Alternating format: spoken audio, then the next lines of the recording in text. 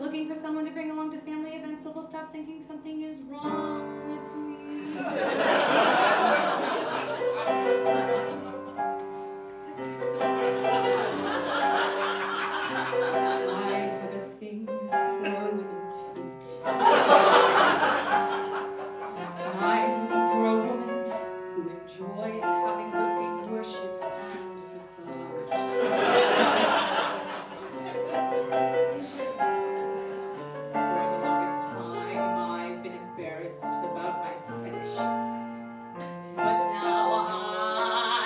want to embrace